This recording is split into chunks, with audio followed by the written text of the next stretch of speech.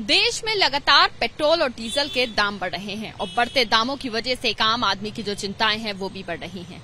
और ऐसे में लोग दूसरा कोई उपाय ढूँढने में लगे हुए हैं कि शायद एक दूसरा ऑप्शन उन्हें मिले जिससे वो कम पैसों में ज़्यादा अच्छे से अपनी गाड़ी जो है वो चला पाए। तो एक दूसरा ऑप्शन जो काफ़ी वक्त से भारत में है, लेकिन अब पेट्रोल, डीजल के बढ़ते हुए दामों की वजह से वो ज़्यादा आगे हो रहा है, यानी कि कह सकते हैं उसको ज़्यादा बढ़ावा मिल रहा है। वो है इलेक्ट्रिक व्हीकल का ऑप्शन।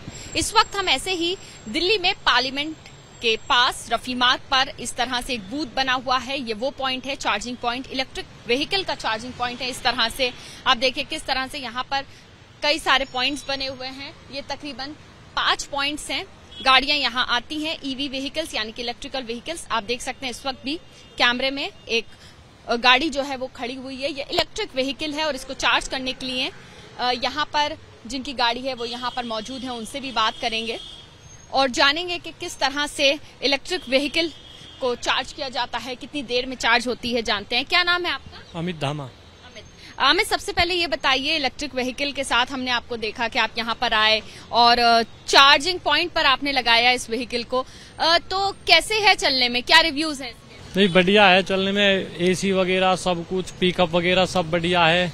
जब डीजल पेट्रोल के बढ़ते दामों से तो यही ठीक है इलेक्ट्रिक की अच्छा लेकिन ये गाड़ी महँगी है? पेट्रोल डीजल की गाड़ियों से ज़्यादा महँगी गाड़ी है तो लगता है कि ठीक है फिर भी? रेट को देखते हुए ठीक है क्योंकि फीचर्स भी अच्छे हैं इसमें। कोई महँगी नहीं है इतनी देखते हुए। और एक बार चार्ज करने के बाद ये लगभग सवा दो सौ किलोमीटर चल जाती है साढ़े तीन सौ रुपये चार्जिंग के लगते हैं लगभग एक बार में। महज साढ़े तीन सौ रुपये में दो सौ प्लस ये गाड़ी चल जाती है। सवा दो सौ के आसपास। सवा दो सौ के आसपास। मुझे ये बताइए कि इस तरह के चार्जिंग पॉइंट्स दिल्ली और एनसीआर में अभी बहुत ज़्यादा नहीं है कम है। फिर भी दिल्ली और एनसीआर के हिसाब से गाड़ी कैसी है?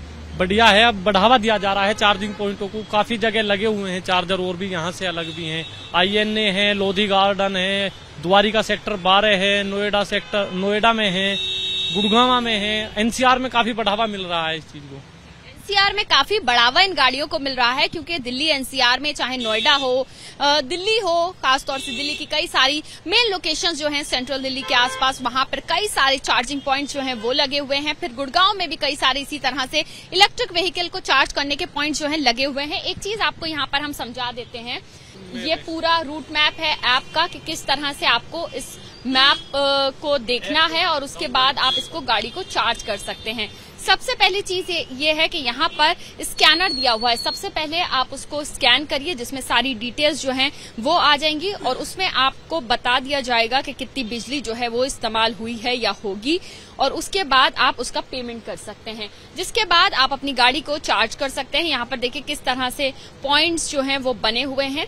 और यहाँ जो है इमरजेंसी स्विच है, साथ ही साथ जिस तरह से पेट्रोल और डीजल जो है, वो वायर के ज़रिए आपने देखा होगा कि इस तरह से निकालते हैं और पेट्रोल भराया जाता है तो इसी तरह से चार्जिंग जो है, वो भी की जाती है गाड़ियों में। और यहाँ पर सेल्फ सर्विस होती है। आप आइए, अपनी गाड़ी को चार्ज पे लगाइए और तकरीबन डेढ़ घंटे में ये गाड़ी जो है चार्ज हो जाती है, जिसके बाद दो सौ प्लस ये गाड़ी जो है चार्ज होती है। यहाँ पर चलती है। यहाँ पर एक शख्स और है, उनसे भी बात करते हैं। थोड़ा आप यहाँ आ जाइए। नहीं आप आ, पास आ जाइए। क्या नाम है आपका? राजेश। राजेश कितने सालों से आप इस गाड़ी को देख रहे हैं चला रहे हैं? अब मैम मैं तो अभी लगा हूँ छह महीना से। छह महीने से लगे हुए हैं। क्या एक्सपीरियंस है आपका इस गाड़ी को चलाने का? चलाने में तो अच्छी है कोई दिक्कत नहीं है मैम। और वैसे भी कोई महँगी भी नहीं है पेट्रोल डीजल के पैसे देखते हुए तो ये इलेक्ट्रिक व्हीकल ही अच्छा है।